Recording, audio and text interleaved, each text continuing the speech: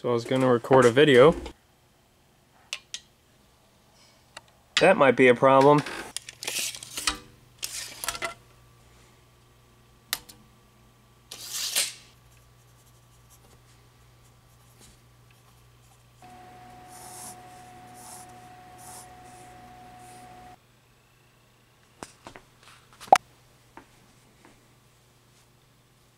Hey, how's it going? We're doing part two today of uh, doing my first gun. We're doing the gun slide. So last time we did this center section and for the second video I'm going to try and do this top part right here. I'm probably not going to do this bottom part. Um, I'll see as I go along. And I'm going to do this little back part. Should be able to fit both of these parts into one video so let's see how it goes. First thing I'm going to do is mock up this uh, border. Around the outside of this.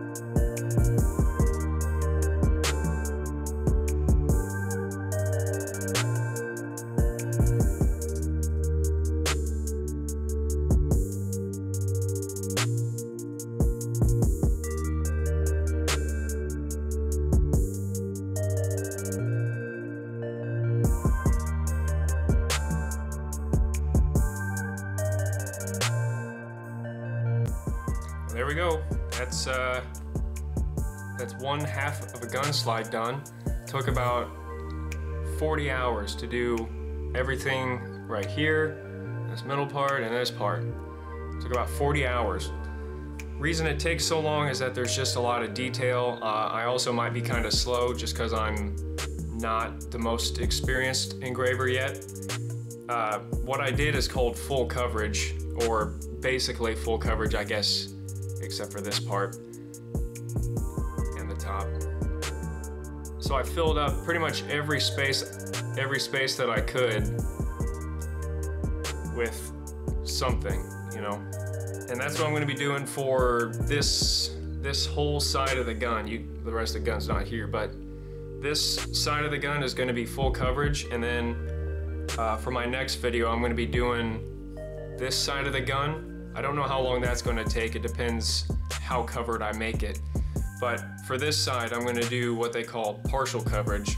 So instead of filling everything up and just trying to cram as much stuff in here as I can, I'm gonna do, it's kind of like more tastefully putting in engraving. You know, maybe do a little bit there, but then when it comes to these large spaces, I, it depends on what kind of design you're putting on there, but gener generally you'll leave some open space where you'll put something over here, maybe a little bit over here, and then the rest will kind of be open. Because you don't, you don't have to put, you know, thousands of dollars worth of engraving onto a gun to make it look good. And like I said, some people might not might not even like full coverage. Some people might even prefer it to be something like partial to where it's not fully decked out in engraving and you still get a lot of clear open metal on the gun and you just get some it's kind of like pinstriping on a car. You know, you get a little bit of little bit of fancy doodahs here and there and it it just kind of spices up the gun. But uh Thanks for watching the video. I hope you enjoyed it. If you want to see more videos like this, please subscribe because I will be making more videos uh, in the future. And uh, yep,